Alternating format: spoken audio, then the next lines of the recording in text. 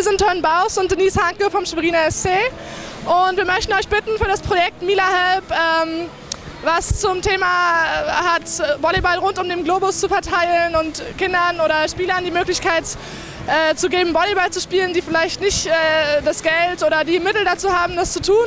Möchten wir euch bitten zu spenden, T-Shirts, Bälle, Netze, alles was ihr zur Verfügung habt, ähm, um das Projekt zu unterstützen. Wir würden uns freuen.